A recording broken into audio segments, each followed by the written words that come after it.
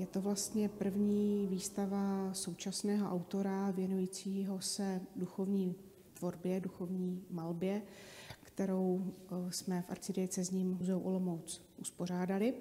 Do dnešní doby mm, jsme v arcidiecezním muzeu, které se věnuje duchovní problematice, křesťanské tematice v umění, ale ve starém umění, tak jsme věnovali některé vstupy současným umělcům v rámci stále expozice nebo jiných krátkodobých výstav, ale vlastně výstava Doroty Sadovské je skutečně prvním projektem, který je plně věnován současnému umělci a vlastně jeho aktuální duchovní křesťanské tvorbě. Dorota Sadovská je slovenská autorka, eh, narodila se v Bratislavě, kde také vystudovala, i v současnosti zde žije. Vystudovala Slovenskou akademii tvarných umění a v podstatě vždycky jí zajímalo tělo jako vlastně námět výtvarného umění, figura, tělesnost. V podstatě takovým tím podstatným segmentem pro nás je ta její duchovní tvorba spjatá s křesťanskými náměty, kterou se začala zabývat v polovině 90. let.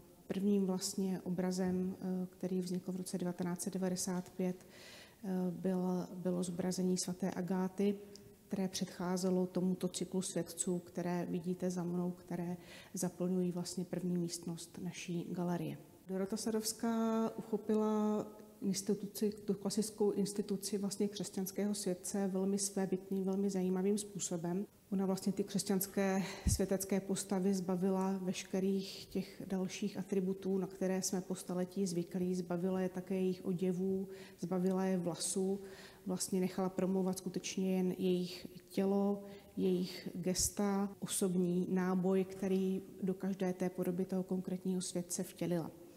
Eh, vyjadřuje se také vlastně výhradně prostřednictvím žluté barvy. Všechny ty její světecké postavy jsou pojaty jenom ve valérech žluté. A tento světecký cyklus naplňuje vlastně už od toho roku 1995 až do současnosti. Stále se k němu vrací, ten cyklus se stal vlastně takovým otevřeným jejím dílem. Eh, přibývají tam další postavy. Také i v této naší první místnosti vlastně se setkáte s obrazy, které jsou namalovány nejstarší kolem roku 2014 a ty nejnovější dokonce v letošním roce. Tento obraz svatého Dominika, který vidíte za mnou, tak je vlastně nejnovějším obrazem z tohoto jejího cyklu vystaveným v Olomouci. My tady těch obrazů vystavujeme deset. Setkáme se tady s postavami jak těch vlastně prvních mučedníků křesťanských z třetího, čtvrtého století našeho letopočtu. Potom je tady několik postav, které jsou zpěty vlastně se středověkým eh, křesťanstvím, se středověkými svědci, ať už je to třeba svatý Řehoř, eh, nebo jsou to postavy z monastické tradice, svatý Tomáš Akvinský, svatý Dominik nebo svatá Klára z Asizi. To, že tyto obrazy jsme pro ně určili tuto první místnost, která je tou vstupní místností, velkou místností, takovým antré do té výstavy, tak souvisí i právě s tím, že to jsou takové iniciační věci v, v duchovní tematice, v, v dorotině díle, takže skrz vlastně tento iniciační cyklus vstupuje potom návštěvník do dalších místností výstavy. A také vlastně tato první místnost svým způsobem symbolizuje celé to křesťanské církevní společenství. Vlastně ti svědci jsou tady jako vlastně stále živoucí zástupci eh, společenství křesťanské církve, se kterými vlastně přichází návštěvník do kontaktu. A určitě mi dáte zapravdu, když se na ty obrazy podíváte, že oni skutečně vybízejí návštěvníka, mm, eh, diváka k dialogu, že ho vybízejí gesty, vybízejí ho pohledy očí, Vybízejí ho vlastně i tou samotnou žlutou barvou, která nenechává nikoho v podstatě chladným. Ona je velmi výrazná a e, velmi živá a navozuje vlastně všechny tady tyto prvky navozují, navozují s divákem velmi, velmi, intimní, velmi intimní dialog. E, můžeme se zastavit u některých těch obrazů a říct si o nich něco bližšího. Eh, třeba konkrétně tady před sebou vidím obraz svatého Dionýza, který je skutečně velmi znepokojivý, protože eh, svatý Dionýzus byl dekapitován, byl stět. Zase je to jeden z těch prvních křesťanských mučedníků, prvních křesťanů, kteří žili eh, v dnešní Paříži, což bylo vlastně původní římské město. A byl biskupem té první vlastně eh, křesťanské církve, raně křesťanské. Byl zajat vlastně mučen a stěd v závěru někde v oblasti Montparnasu a ta světecká legenda praví, že vlastně tu svou stětou hlavu si vzal pod paží a nesl ji poměrně dlouhou trasu až do, místa, do místa dnešního známého opatství Sendeny, kde vlastně stojí ten známý chrám Sendeny, který je zasvěcen právě svatému diviši neboli Denisovi. A Dorota vlastně pojímá ten obraz, nebo vnímá ten obraz tím způsobem, že ta dekopitovaná hlava, kterou si drží ten světec pod svou paží, tak vlastně mění také úhel nazírání té hlavy, která vlastně sleduje dění kolem sebe a veškerý svět. Tak to je takový zajímavý moment. Za mnou vidíte obraz svaté Kláry, která je také vlastně velmi zajímavou osobní interpretací této světice, podanou Dorotou Sadovskou. Je to vlastně středověká křesťanská světice, zakladatel, zakladatelka eh, řádu klarisek, vlastně velmi přísné asketické řehole. A ten její význam se posunul ve 20. století tím, že byla, myslím, že v 60. nebo v 70. letech eh, jmenována patronkou médií, patronkou televize a transmise. A vlastně Dorota pojímá tu její postavu tak, že se dívá na svět skrze vlastně ten hledáček, který si vytváří vlastně dvěmi, dvěmi uh, dlaněmi. Ten hledáček, kterým hledá ten správný fokus náhledu na svět, to hledání vlastně těch uh, správných otázek, odpovědí, úhlů pohledu. Takže to je velmi zajímavé, velmi aktuální zpracování této středověké světice. V rohu třeba vidíme také obraz svatého Řehoře, který tím gestem, kterým si přidržuje ucho, tak naznačuje naslouchání. Je to také z toho důvodu, nebo hlavně z toho důvodu, že svatého Řehoře máme podle legendy, podle tradice zpětého se vznikem gregoriánského chorálu.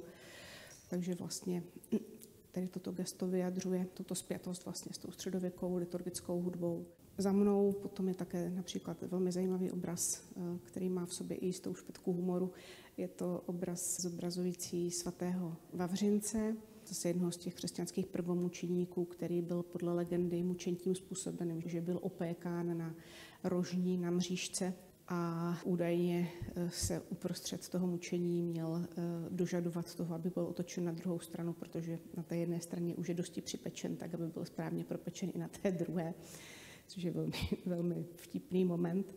A ten je zase zachycen s takovým tím gestem uh, ochutnávání nebo uh, naznačujícího vlastně vynikající jídlo, protože ho známe jako patrona, patrona kuchařů.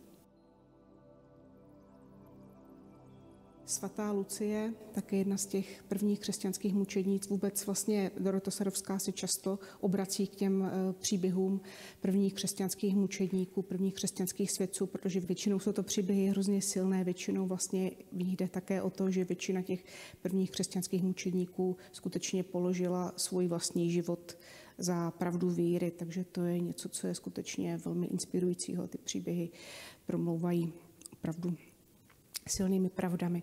Takže jedním z těchto, jednou z těchto vlastně prvních křesťanských světic byla také svatá Lucie, pocházející ze Syrakus, která podle svaté legendy eh, vlastně přišla o zrak, eh, byly jí vypíchnuty oči v průběhu mučení, a takže vlastně je zobrazena tak, že si zakrývá eh, ty vypíchnuté oči dlaněmi, prsty.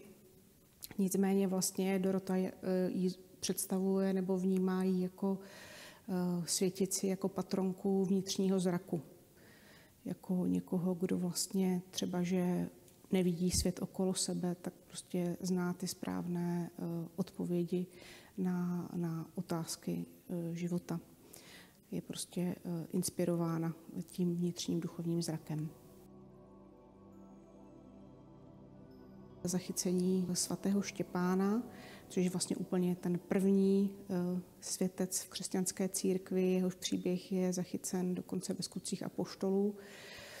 Eh, byl to Jáhen, diákon, který vlastně byl také umučen a byl umučen eh, ukamenováním, takže to jeho tělo je vlastně zobrazeno schoulené, jako by vlastně v kámen, bránící se tomu těm té palbě těch kamenů, které, které na něj měly dopadat.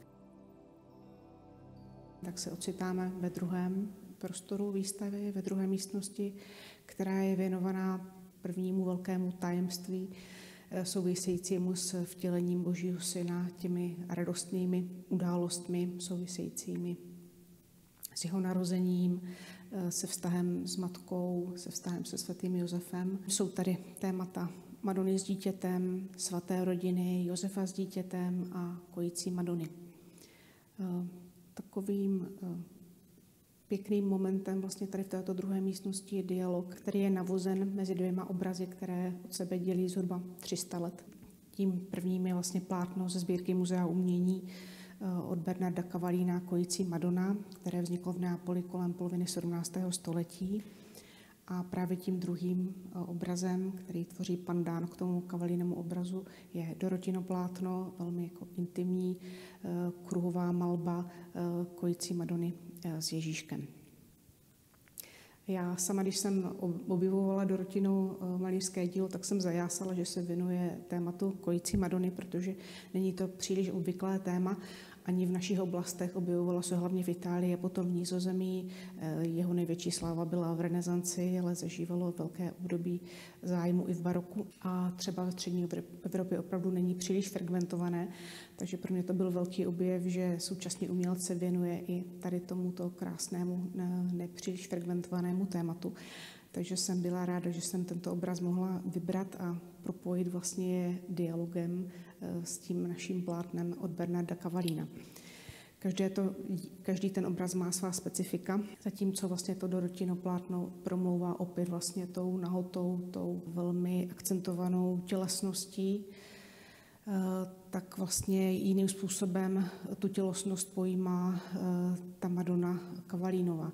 Eh, kde vlastně to lidství je projevené zase eh, velmi zajímavým výběrem toho samotného typu Pany Marie, takového velmi lidového typu eh, dívky z ulice 17. století, která má opravdu ty, ty lidské kvality, je velmi přesvědčivá, velmi přesvědčivá i v, v tom konkrétním typu a velmi přesvědčivá i v tom gestu a v tom výrazu, v tom pohledu velmi vyzývavém, který navozuje vlastně s eh, návštěvníkem dialog.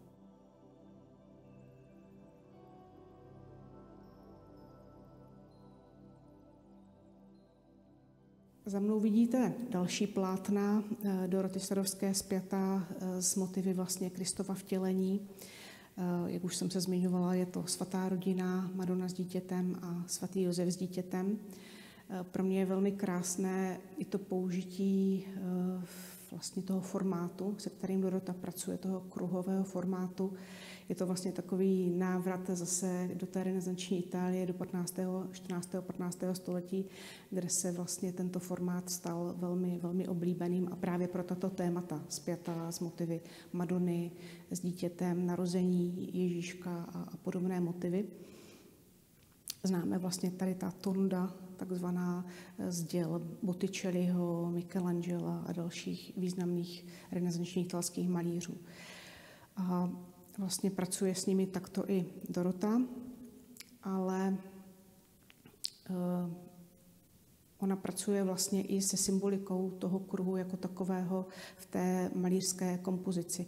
Vlastně, když se podíváte na ty kompozice, jak ona pracuje vlastně s tím propojením těch tří postav, které jsou na, na těch obrazech znázorněny, tak pracuje vlastně eh, s velkou sevřeností těch forem, vlastně s propojeností těch tří figur, eh, vyjadřuje nebo znázorňuje dokonalost eh, té jejich vzájemné lásky, toho vztahu, který vlastně v němž nikdo neselhal, kde se na sebe všichni mohou spolehnout. A ta dokonalost je vyjádřena vlastně tím samotným kruhem, na kterém jsou tyto výjevy zobrazeny.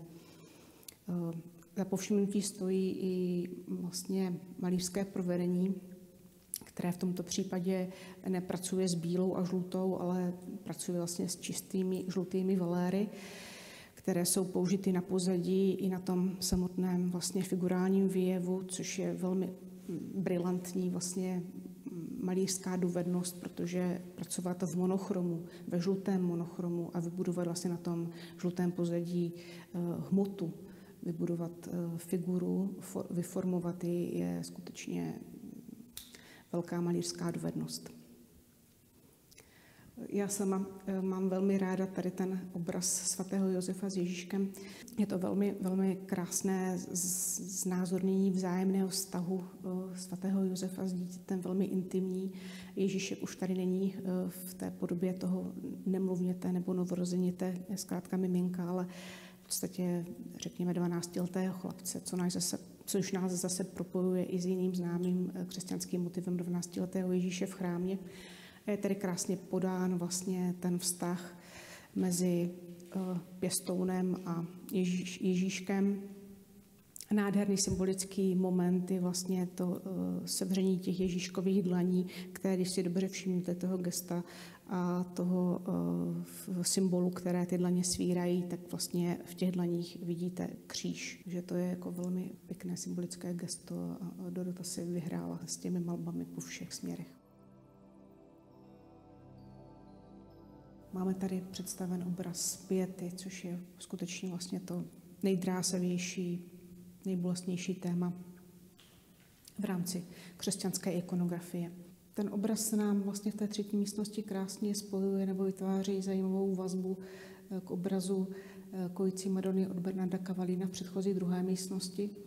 A eh, je to jednak vazba hm, barevná, ale druhá je to i významová vazba, protože vlastně, pokud si všimnete, tak na tom Kavalinově obraze ten Ježíšek je zobrazen jako spící umačí na prsu a už od středověku se vlastně ten spánek Ježíška eh, vnímá tak, že vyjadřuje spánek smrti, jeho vlastně budoucí, budoucí smrt, kterou Eh, kterou očekává jeho matka i, i on, o které, o které vlastně vědí. Takže vlastně eh, ten motiv té smrti se nám objevuje naplno tady v tomto tématu piety. Zase matky, která drží v náručí svého syna, v podstatě ale už jen jeho mrtvé tělo, je zavolena vlastně tou tíhou té bolesti, je úplně nepatrná, osamocená, plná bolesti, přestože jediná vlastně na tom obraze je, je žijící nebo je živá, tak je zobrazena nebo její tělo, její inkarnát je představen v, modré, v tónech modré barvy, která je v podstatě velmi vzdálena životu, je úplně odhmotněná. Takže skutečně i tímto způsobem eh, barevně eh, Dorota vyjadřuje tu bolest. Naopak to Kristovo tělo které je, mm, jehož inkarnát má až takové vlastně až zelené tóny, tak v tomto případě to není ta zelená vlastně, eh, která by znázorňovala život, ale je to ta zelená, která znázorňuje naopak vlastně ten rozklad. Je to třeba i ta zelená, kaky zelená vojenských uniform a vlastně tady eh, má, má tady tyto konotace. Eh, Toto téma piety zpracovala Dorota Sadovská na tomto obraze poprvé, podle jejich vlastních slov. V ní toto téma velmi dlouho uzrávalo, v podstatě rok nebo více ho v sobě nosila, přemýšlela o něm a nakonec se rozhodla mm, tento obraz namalovat. Předcházelo tomu spousta různých eh, přípravných záležitostí, fotografování modelů, eh, skic a nakonec vlastně došla k této formě, kterou i dál rozvíjí ve své současné tvorbě.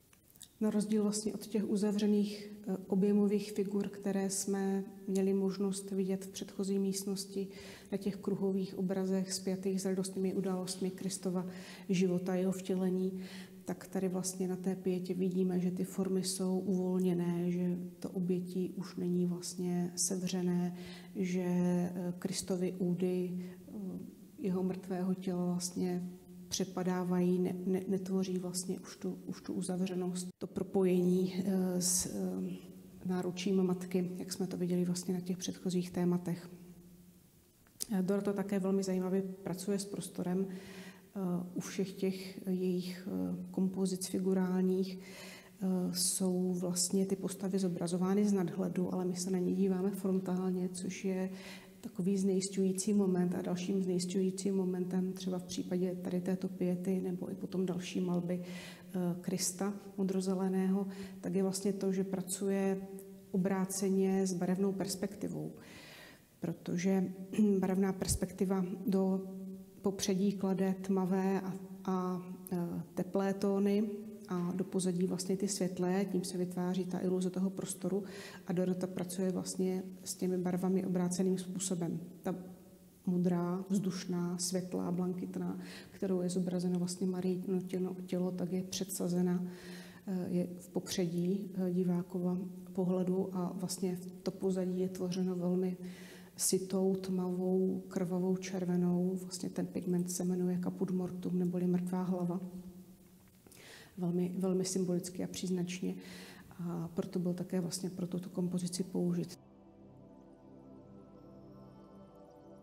Dá se říct, že v poslední místnosti výstavy, po té předchozí části, která byla věnovaná bolestnému a velmi svíravému tématu piety, tak je v té místnosti vlastně poslední to téma jakýmsi, jakousi katarzí a vyvrcholením celého toho příběhu výstavy, vyvrcholením v těchto dvou plátnech, které vidíte za mnou. Jsou to plátna modrozelený Kristus s ranami a bílý Kristus, která jsou instalována originálním způsobem, ne klasicky na stěně, ale jsou zavěšena vlastně jako objekty přímo v prostoru eh, poslední místnosti výstavy. Konec konců toto je takový motiv, se kterým Dorota velmi ráda na všech svých výstavách pracuje. Ona s těmi svými malbami často zachází jako s objekty. Výstavy vlastně eh, zamýšlí vždycky jako site specific pro to konkrétní místo, kde, kde vystavuje, takže i v tomto případě vlastně Eh, jakkoliv jinak ta výstava je eh, instalačně konzervativní, tak tady v této poslední místnosti je i ten prvek vlastně instalační eh, pro diváky určitě velmi zajímavý.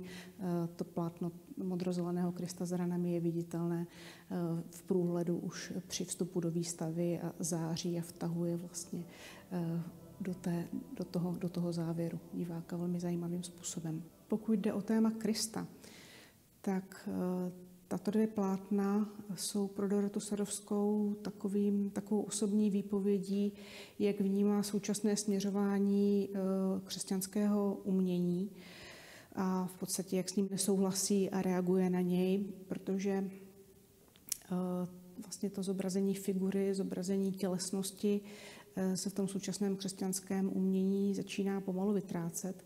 Autoři velmi často používají jen samotné symboly, a nepracují vlastně s figurami, takže velmi často vidíme opravdu jen dvě překřížená břevna jako symbol kříže a schází tam to samotné tělo, to, co je vlastně eh, nejpodstatnější v té výpovědi, ta tělesnost, ten, ten vztah eh, k Bohu, k nám, to, co vlastně se skrývá pod eh, křesťanstvím jako takovým, co je, co je pro ně zásadní a důležité, ta vztahovost. Takže eh, ona jde na těchto obrazech úplně jinou cestou a vyhýbá se naopak té symbolice toho kříže jako takového a toho Krista, který je na těch obrazech zároveň vlastně zobrazen jako ukřižovaný, jako vzkříšený a jako na nebe vstupující, tak zobrazuje v koruně stromu života. Eh, což je zase velmi eh, známý ikonografický motiv v křesťanském umění. Eh, vlastně ten strom života je ten samotný kříž, je to vlastně to samotné gesto té oběti, které je znázorněno v tom stromě života, v tom, v tom znázorňující vlastně vykoupení člověka.